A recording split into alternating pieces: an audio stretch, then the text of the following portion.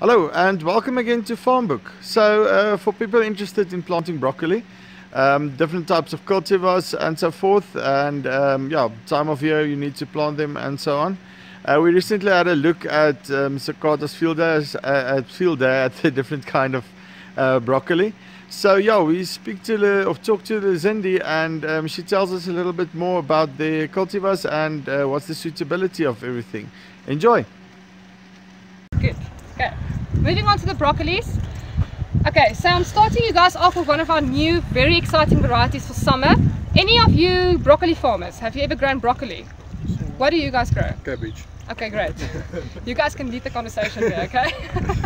okay, so Aureus is one of our new uh, summer varieties. It's a very fast maturing variety, but it's also got a very nice dome shape. If you look at that, look at that perfect dome. This is what you want to put in a punnet. Okay, um, we the, nice thing about Aureus is that it's got a nice color, so it doesn't turn brown that easily. If you look at one of our comp competitors here, we're not putting anyone down, we just want to show you the different structure. That's a very open, small plant structure, do you see that? And do you see the color of the heads? If you would go, as a consumer, go into a shop, would you buy that head if it was on a punnet? I would rather leave it. But this one, same season, fertilized the same way, because it's got a nicer structure, it just keeps the head closer a bit. Okay.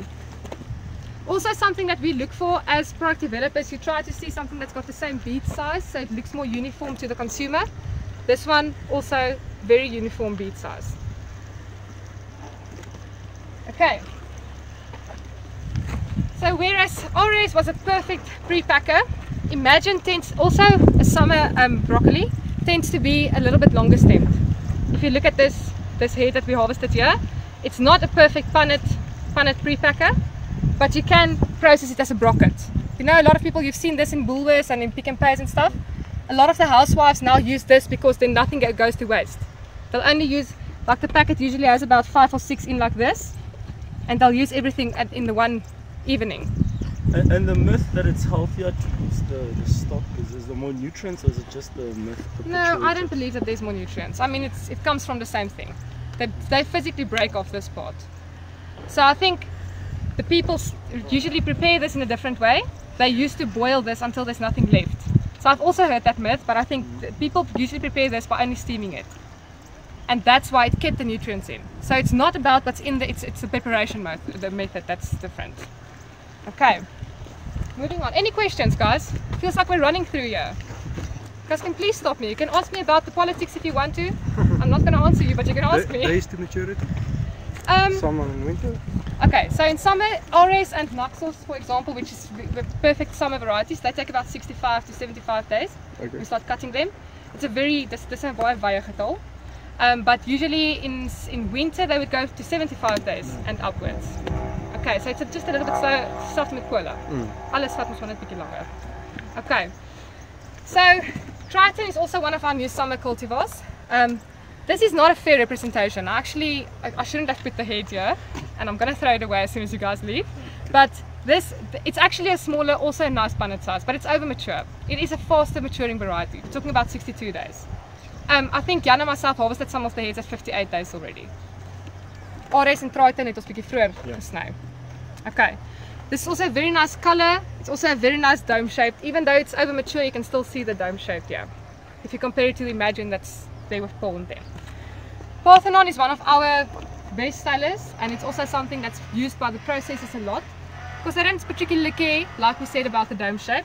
It becomes a bit knobbly in summer. Do you see it becomes a bit knobbly? It's actually a winter cultivar. Okay, so because we had Parthenon and it really is an excellent cultivar for winter, we were focusing a lot on developing summer varieties and that's where Aureus and Naxos and the new Triton comes in. Okay, specifically for that summer slot. Why this does one, it go knobbly in, in uh, um, if you plant a winter variety in the summer? I think it's just because it's out of slot, it's not happy, so the formation of the head is not as uniform. Oh, okay. So yeah, the plant doesn't yeah, utilize the nutrients. Yeah, I also think uh, the summer broccolis are adapted to uh, of course every or most of the the, the, the brassicas are normally for for winter. So some of the new varieties are more adapted for summer itself. yes. I also think that um, the temperature fluctuations. Mm. brassicas are very sensitive to cold nights and extremely hot days and especially the winter stuff because they're not used to getting those extremely you know high heat units. And that's why Parthenon you know that's that's their way of showing that listen I'm not happy in the slot okay what would be your your major disease risks regarding um, let's say broccoli and cauliflower? I guess it would be the same. That would depend on your area. If you go up north and to all those areas there's a new there's a, there's a disease called brassica stunting disorder and that is a very big challenge for growers up there. Also in this area there's a lot of development work being done on it. And if you go up to the Cape they, they struggle with white blister and white blister is a, a, fungus yes and it grows on the leaves and sometimes it goes to the heads and that's the problem then it becomes unmarketable it's physically like a, a blister full of spores so it also distributes very easily so it depends on which area you are if you're a cabbage grower in certain areas black rot mm. can really just yeah um, uh, wat is nou weer grond nie fusarium nie, dis blaarslaai. Gaan ek gaan nou vir sê? Okay, ek gaan nou onthou. Nematode is a big problem. Damping off. Damping off is a problem for all seedlings, I think. Yeah, seedlings. All seedlings struggle with damping off. Um, laat ek sê. Okay, ek gaan nou onthou, dan gaan ek vir sê. Klaproot. Klaproot is 'n groot probleem ook vir baie kaasgroeiers. Ja. En ook vir baie vir enige brassica. Ja. All brassica growers. Klaproot is a big problem. Naxos excellent summer variety. We are very excited about this variety as well. So it's got the perfect dome shape. Um, you'll see that I'm referring to the dome shape because the biggest market for broccolis and collies is the pre-packer.